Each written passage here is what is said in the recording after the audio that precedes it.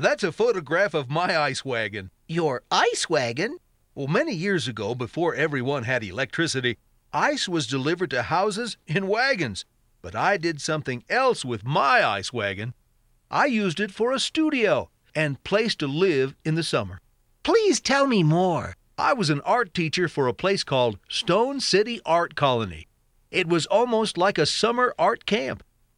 At the Stone City Art Colony, students could live in small apartments, or camp out, or live in ice wagons.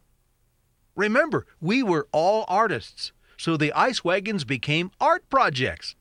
Soon the sides of the ice wagons were decorated with all sorts of paintings and awnings. Where is your